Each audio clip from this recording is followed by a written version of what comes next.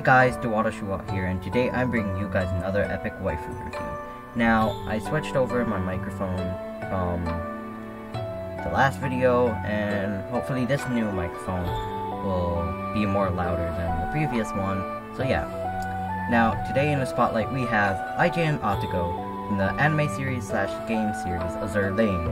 Now, I promise not to be biased when it comes to reviewing her, especially how she was my first oath in game. But yeah, now let's get straight into the review. Now, Atago's design is very similar to her sister ship Takao, rigging wise. Just for those who are wondering, rigging is the armor slash weapons around the ship girl or the anime girl. From what I can see, Atago wears a white commander's uniform that kind of emphasizes on her very nice torpedo buttons, similar to her sister.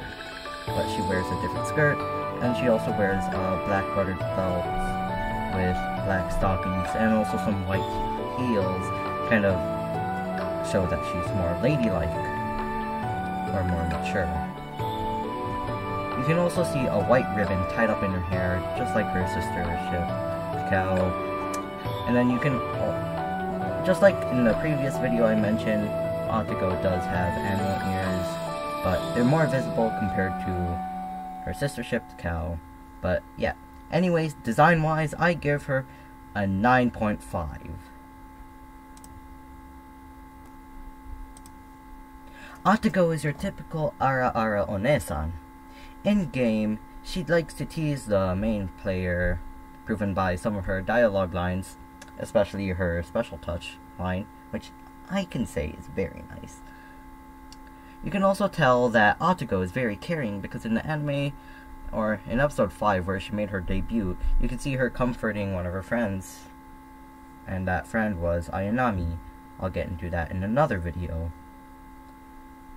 And an in-game example of her caring personality personality is in her quest line, where she tells the player, or the commander in this instance, not to stay up late and make sure he's not being unhealthy.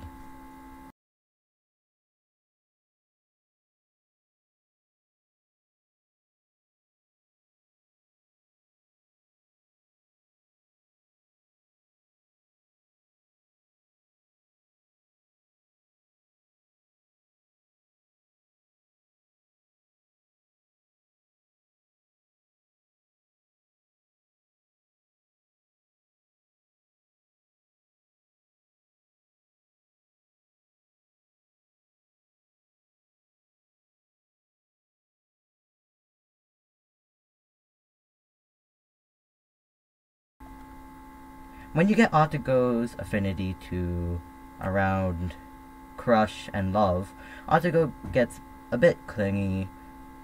But when it comes to her being clingy, it's not on the same level as Kagi's clinginess, where she will kill everyone who dares get close to the player, or commander in this instance.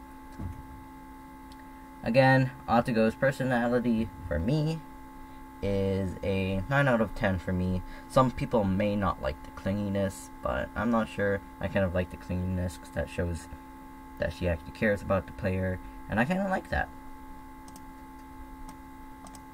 So for the overall rating for Atago, she would be a 9.5 out of 10 with Dewotto's seal of approval. Now, don't take what I say seriously, but on Tish. Because I'm just a random person on the internet talking about cute anime girls. And this is just my opinion on them.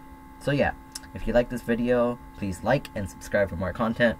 Dewotto out.